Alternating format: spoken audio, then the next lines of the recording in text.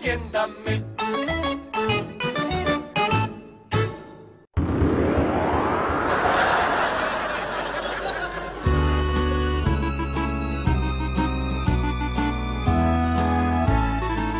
Buongiorno dottore, allora eh, le analisi di mio marito come sono uscite? Buongiorno, eh, chi lo sa. Poi c'è un piccolo problema, cara mia signora.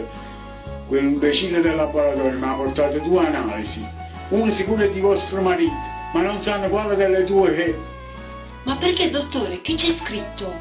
Su uno c'è scritto che tiene l'ADS e sull'altro tiene l'Alzheimer.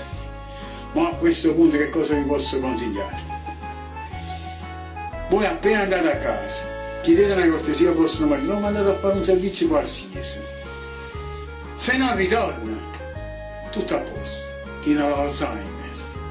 E se ritorna? We the end!